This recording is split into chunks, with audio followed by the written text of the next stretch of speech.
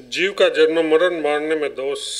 वादी लोग जिसके अन्यथा भाव की कल्पना करते हैं, उस प्रकृति का भी विषय क्या है और उसकी कल्पना में क्या दोष है, इस पर कहते हैं। समस्त जीव स्वभाव से ही जरा मरण से रही थे उसके जरा मरण स्वीकार करने वाले लोग इस विचार के कारण ही स्वभाव से चित्त हो जाते हैं। जन्म मरण यथार्थ जन्म मरणादि संपूर्ण विकारों से रहित है। कौन संपूर्ण धर्म यथार्थ समस्त जीवात्मा स्वस्थ, स्वभावतः, यानी प्रकृति से ही ऐसे स्वभाव वाले होने पर भी जरा मरण के, इच्छुक के समान इच्छा करने वाले यथार्थ रज्जु में सर्प की भांति आत्मा में जरा मरण की कल्पना करने वाले जीव उसकी मनीषा जन्म मरण की चिंता से अर्थार्थ उस भाव से भावित होने के दोषवश अपने स्वभाव से च्युत विचलित हो जाते हैं।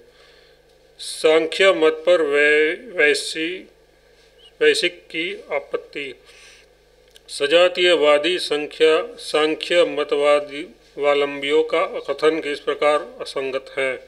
सो विशेषत, विशेषिक मताम्बली बताते हैं, जिस संख्या, सांख्य मताम्बली के मत के कारण ही कार्य के, कारण ही कार्य है, उसके सिद्धांत सिद्धांत अनुसार कारण ही उत्पन्न होता है किंतु जब कि वह जन्म लेने वाला है तो अजन्मा कैसे हो सकता है और भिन्न, विदीर्ण होने पर भी नित्य कैसे हो सकता है? जिस वादी के मत में मृतिका के समान उपादान कारण ही कार्य है यथार्थ जिसके मत में कारण ही कार्य रूप में परिणित होता है, उसके सिद्धांतानुसार प्रधानादि कारण अजन्मा होता हुआ भी महतादि कार्य रूप से उत्पन्न होता है, ऐसा कर, इसका तात्पर्य है। किंतु यदि प्रधान मह, महदादि रूप से उत्पन्न होने वाला है तो वे उसे अजन्मा कैसे बतलाते हैं? उत्पन्न होता है और अजन्मा भी है, ऐसा कथन तो परस्पर विरुद्ध है।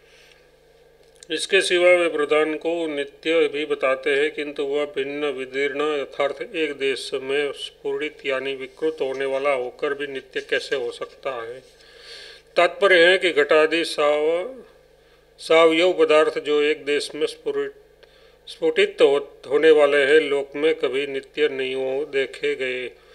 वह अपने एक देश में विदीर्ण होता है तथा आज और नित्य भी है, ये तो उसका विरुद्ध कथन ही है ऐसा उसका अभिप्राय है। उपयुक्त अभिप्राय का ही स्पष्टीकरण करने के लिए कहते हैं, यदि कारण से कार्य की अभिन्नता है, तब तो तुम्हारे मत में कार्य भी अजन्मा है, और यदि ऐसी बात है तो उत्पन्न होने वाले कार्य से अभिन्न होने पर कारण भी किस प्रकार निश्चित, निश्चल रह सकता है? यदि तुम्हें अजन्मा कारण से कार्य की अन्यता अन्यता इष्ट है तो तुम्हारे मत में ये बात सिद्ध होती है कि कार्य भी अजन्मा है, किंतु कार्य है और अजन्मा है, ये तुम्हारे कथन में एक दूसरा विरोध है।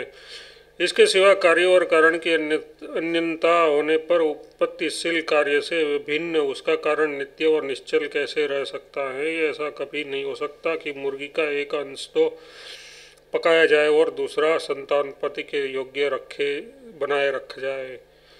इसके सिवा और भी जिसके मत में अजन्मा वस्तु से है वस्तु से ही किसी कार्य की उत्पत्ति होती है उसके पास निश्चय ही इसका कोई दृष्टांत नहीं है। और यदि जात पदार्थ से ही कार्य की उत्पत्ति मानी जाए तो अन्यथा उपस्थित हो अन, अनवस्था उपस्थित हो जाती है जिस वादी के मत में अज उत्पन्न वस्तु से कार्य की उत्पत्ति होती है उसके पास निश्चय ही कोई दृष्टांत नहीं है। यथार्थ अतः तात्पर्य ये हुआ कि दृष्टान का अभाव होने के कारण ये बात स्वयं सिद्ध हो जाती है कि अज वस्तु से किसी की उत्पत्ति नहीं होती और जब किसी जात उत्पन्न होने वाली वस्तु से कार्य वर्ग की उत्पत्ति मानी जाती है, वह भी किसी अन्य जात वस्तु से उत्पन्न होने चाहिए और वह किसी और ही, किसी और ही से उत्पन्न होनी चाहिए। इस प्रकार कोई व्यवस्था ही नहीं रहती, यथार्थ अन अनवस्था उपस्थित हो जाती है।